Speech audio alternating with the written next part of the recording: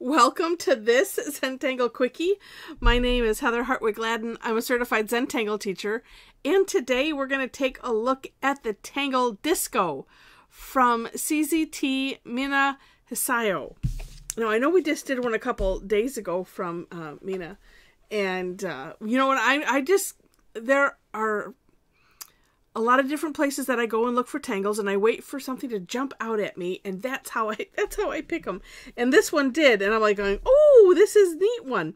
And I, I know at least well, several people that are probably thinking, "Oh, disco like the five elemental strokes of Zentangle." Well, yeah, exactly. That's what this one's about. It's kind of cool. so, all right, so we're going to start with the dot for the D, right? So put a dot. Now you you'll want to have have this position so that way you have a little room above, uh, more room below than above because we're going to be working both ways. Okay, so that is one elemental stroke. Another is the straight line, or like I like to say, a lowercase l, or an I without the dot. or depending on how you draw a capital I, sometimes it is just like that, just a straight line, right? Okay, we're, we're going to go a little out of order. Um, we're going to do a C-shaped curve line. So from the bottom of this straight line that you just did, up above the top, I'm going to have it go just there, about, e about even-ish. Okay, so there's your C-shaped curve line. Next, S-shaped curve line from this this tip down to here.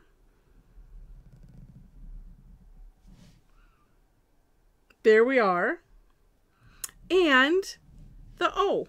And we're going to put the O right here at the base. and that's it. Awesome, right? Now, take a look at the for more inspiration link in the description section so you can see some of the neat ways that Mina has uh, plays with this one. So here's here's some of the things that you can do. It it's hmm, fragment esque. I mean this this one uh, came out way before we were doing uh, you know uh, frag or we had named fragments as such. But let's see. I you can. Oh, let's do. I'm gonna shoot one off this side here, and we'll howl about it. So let's do the dot here. We'll see how far it goes. Straight line. Oh, well, made it without having to howl about, although I just went off the paper there. C-shaped curve line. S. And then another orb. And the fun thing is you can do these however you want. One of the things that I like that Mina did was she decided to add some little extra lines and dots. And then also aura'd. So let's see. Oh, let's do this. We'll do, oh, let's do another one. We'll have it coming off of here. Um, and this is probably the only way that it only, wait, how, how do I want to say that? The only thing that makes it tricky is if you want to combine them, you just have to place this knowing how much. Well, you just make do with whatever room that you have, I guess, right? So, you know, you can do your straight line in enough room so, okay, oh, I can put my orb right there. Okay, there we go. And the C shape can come up as far or as not as far as you need it to go. Like that. We can put a nice big old orb here. Actually, let's aura that orb. Um, yeah. Like that. Let's aura this. And this side. And you could do it two, three times, however you want. I do like having the multiple uh, lines and dots inside here. It's just fun. So this can also then obviously it can be an organic tangle, being that it can grow off of itself. How that's how my definition of organic, ones that grow, um, yeah, off of itself, just like that. You just you just keep adding to it as much as you want. So another way is that you could just like this, tuck it right in. That makes it a little easy. And then let's do the orb here. Let's aura this one too. I do I do like that look. Let's do three on this one. Or I guess you know, three would mean two auras. Heck, you could just do the one side. Hmm. It, up to you. It's it's your tangle. You get to play with it however you want to. And then I'm to aura this orb. Let's put one on the inside so I can neaten that up. Like that. Oh, and we'll have to add some more of these. These are almost as good as the line dot dot. Almost. Oh, and let's see. We have four, so that means I have to add one more. Let's put it... Yeah, let's put it here. We'll have it... Uh, where do I want? I guess I'll tuck it in here. Let's see.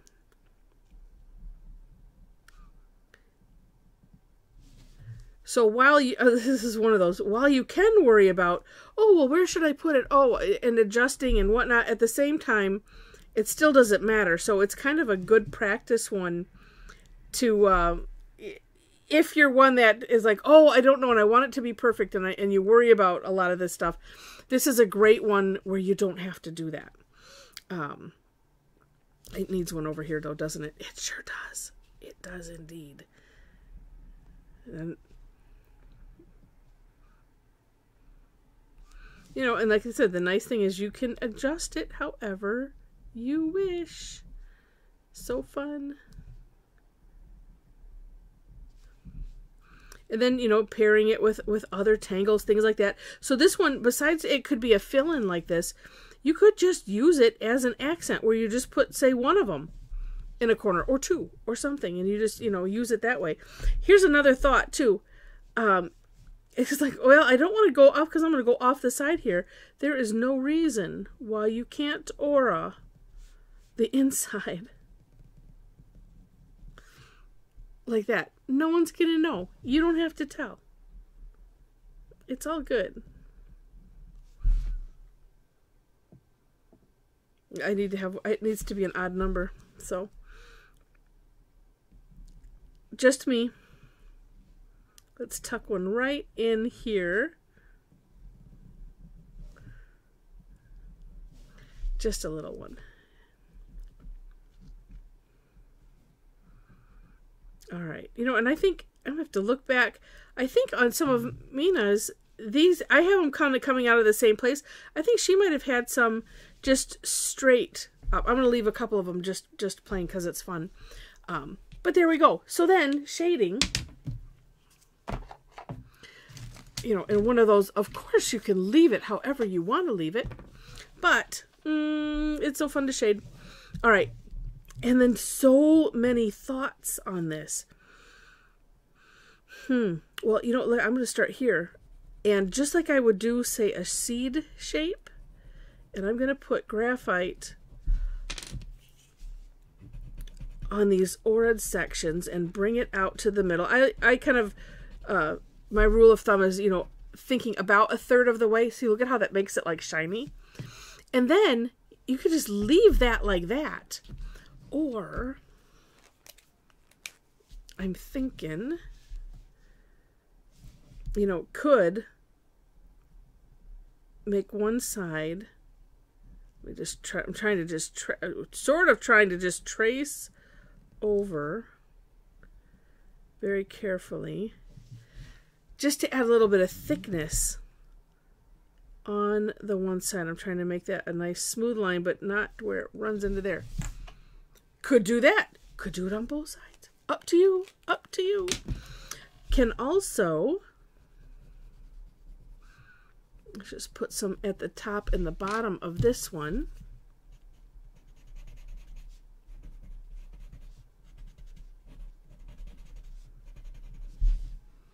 Ooh, let's just finish that. That's kind of interesting. Mm-hmm. I think I have a bit on my tortillon here. Well, let's just try just one side. Kind of like this. And then you have to we have to remember those the, little orbs too. But this is definitely going to be one that uh, oh let's try this one uh, a little distance away.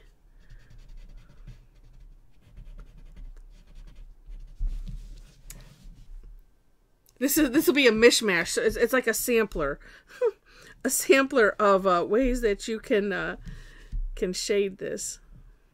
Ooh, let's have that come out.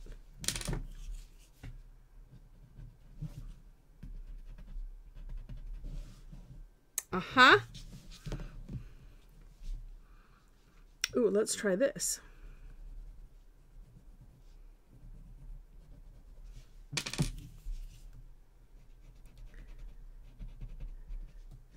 Because where you shade, you kind of recess it. And so it just depends on what you want to, to pop out. So that's kind of interesting having those pop out like that. All right. Let's do, oh, I, I like that one. So let's do, uh, yeah.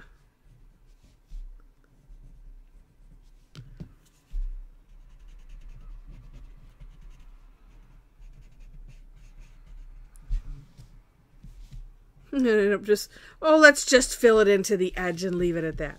Okay, very good. Let's do another one with this at the tip. At the bottom.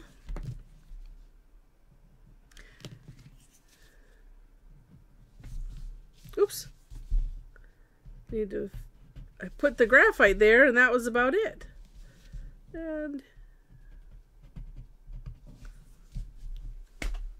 just for kicks lots of fun. Lots of different ways that you can have fun and play with this one. So, hope you enjoyed it. If you did, please click the like button. And if you liked it enough to see more, please also subscribe to the channel. Uh, in the description section, I mentioned the uh, links to the step outs. So I always do my own version and then link to the creator of the Tangle, so you will find those. Also, ways to connect with me if you wish. I have a link to my website where you can follow my blog.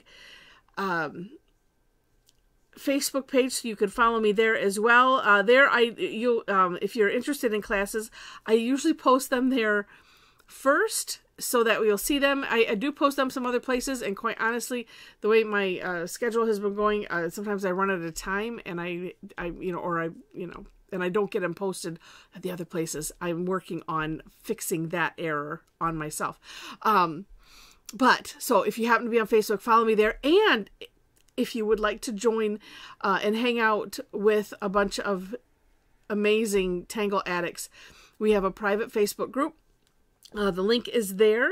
And know that there are four questions to answer in order to gain entry. And um, I think what else do I have there? Uh, speaking of classes, I do have them twice a week. I do two sessions, Tuesdays and Thursdays. Thursdays are always free.